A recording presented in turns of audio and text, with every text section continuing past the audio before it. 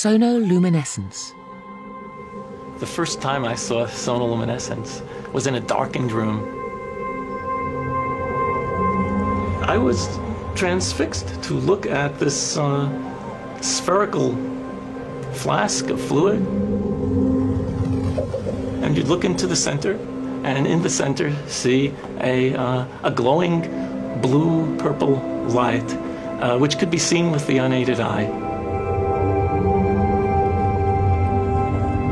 Looked like a star in the heavens.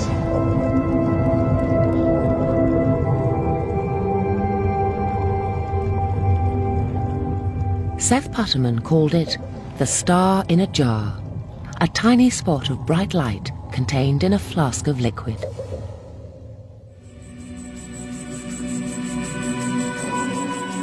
This star in a jar is made when a sound wave is passed through a small bubble inside a flask of liquid.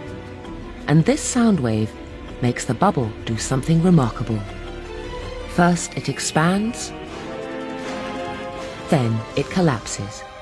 And this collapse happens so violently that vapor molecules trapped inside the bubble slam together and heat up so much that the bubble gives off an incredible burst of heat and light, several thousand times a second, giving the appearance of a star.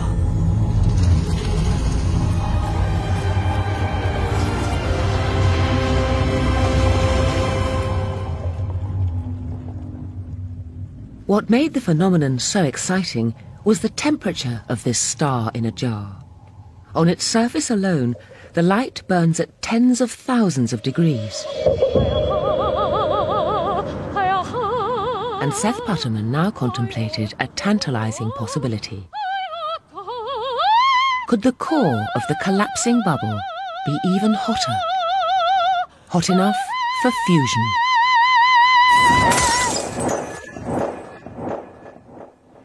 One of the mysteries of sonoluminescence is to determine exactly how hot the interior of the bubble gets.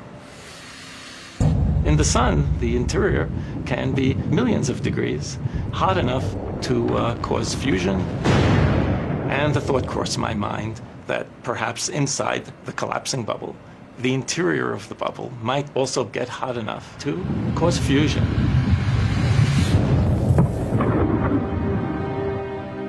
If so, this would be something truly amazing.